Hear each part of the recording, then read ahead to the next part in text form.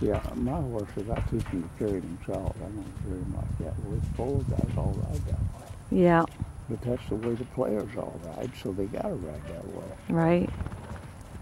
I don't know much about it, but Oh, they, they. I, I remember watching uh, Stanley out here. You know, he did a lot of figure eights and a lot of galloping, trying to make sure they're maneuverable.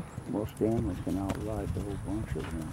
Look at that change, Man, she can handle herself. She,